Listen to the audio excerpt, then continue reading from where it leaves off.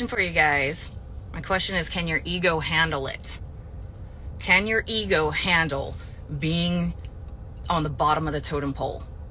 Because I was just leaving the gym and I had like a kick ass workout. I was putting all my stuff away and I was just like thinking how comfortable I am in the gym. I've got hundreds of exercises at my disposal that I could just whip out at any time. I know, you know, good technique, good form. And I was, it just brought me back in an instant to my early days of lifting when I would, felt like the lowest on the totem pole. I was out of shape. I didn't have cool gym clothes. I had no idea what I was doing. And my ego didn't like that.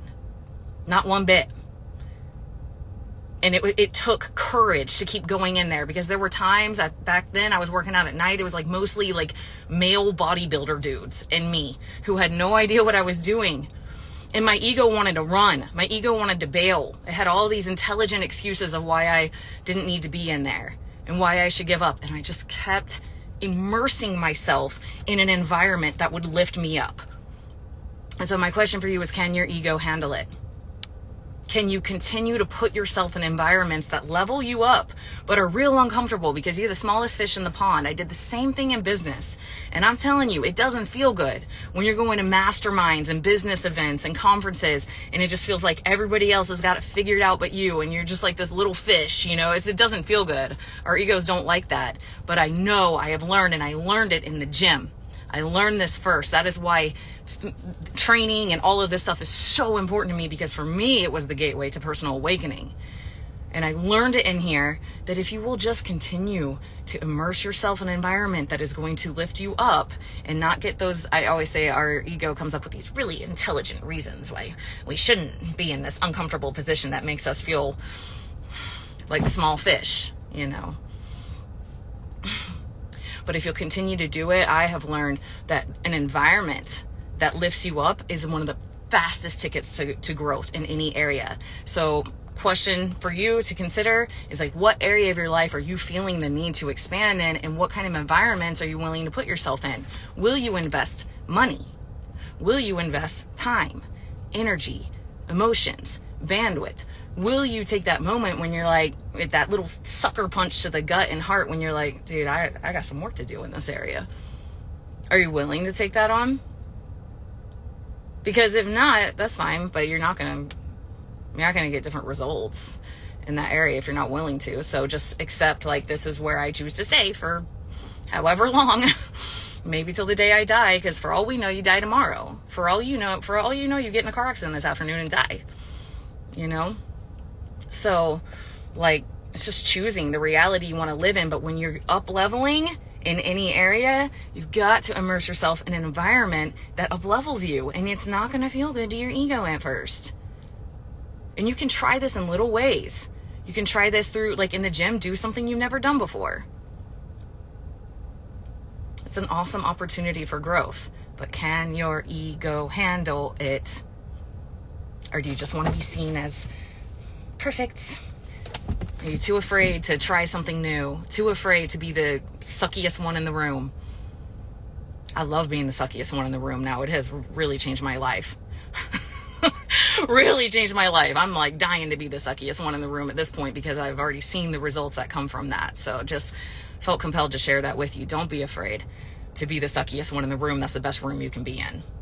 Don't uh, uh skip things because you feel that little ego like, oh, I just I feel uncomfortable. What if people think I'm fat or ugly? Or what if when I do glute exercises, I, my butt squishes and I have cellulite? Who cares? Work your glutes. Who cares if you don't know what you're doing? You care more than anybody else cares. And when you start having your own back and supporting yourself through that and say, good for me for trying new things, that's when magic starts to happen. So when you're in those environments and you're feeling that little ego threatened of like I'm not being seen as the man or the woman right now, have your own back and and tell yourself, good for you, dude. Good for you. All right. All right. Much love, guys. Yes, I can help you with your diet. Just DM me. Um, Elisa, thank you. I, I'm your inspiration. That's why you show up every day at the gym.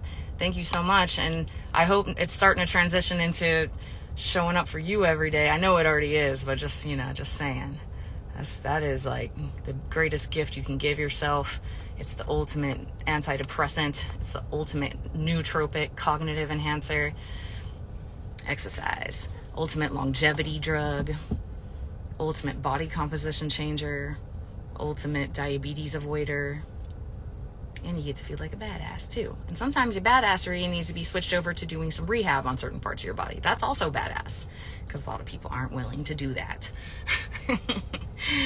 All right, much love, guys. Yeah, nobody cares. Nobody cares. Nobody cares. Nobody cares if your kid's hair is perfect. Nobody cares. Nobody cares. Nobody cares people live in this thing of like everyone's judging me all the time and i get it because there's a lot of programming that way but honestly most of us are just so tied up in our own reality i don't give a shit. I don't remember what anyone in that gym was doing or wearing or anything i was in my own little world.